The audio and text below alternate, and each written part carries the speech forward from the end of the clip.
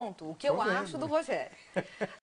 Ah, que ele se adianta terrivelmente nas batidas de pênalti. Eu não, eu não acho que seja o Rogério o nome do jogo. É, O Rogério, pra mim, é um goleiro, um jogador que está acima do bem e do mal. Por causa disso, quando ele falha, ninguém fala que ele falhou. A imprensa não fala que ele falhou. Olhar pro Rogério e deixar de lembrar de quando ele falsificou a assinatura do Arsenal para ser que ele queria aumento no São Paulo. Ele forjou um documento para que o São É uma Paulo história um desse pouco mal contada, né, Emílio? Para você dizer que ele forjou, falsificou, É, é, então ele foi preso, né? suspenso, ele foi Aí nesse, afastado. aí nesse terreno eu não entro. É. Pois é. Eu não entro porque Mas- aí é especulação.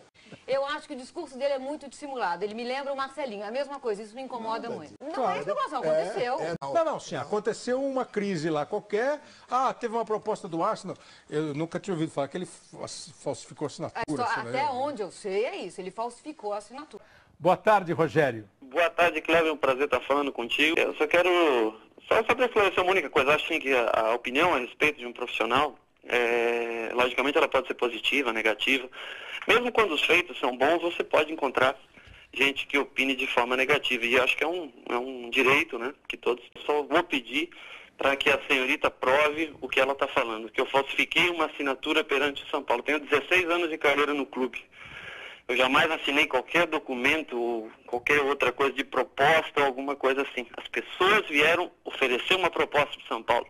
Não tem assinatura minha em lugar nenhum, em canto nenhum absoluto.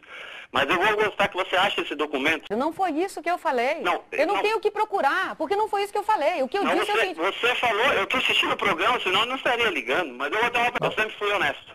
E se eu tenho a história que eu tenho, é porque eu trabalhei para isso. E eu tenho família, minha filha. Eu tenho esposa, tenho filhos que me têm como exemplo. Então você nunca fale que eu falsifiquei uma assinatura.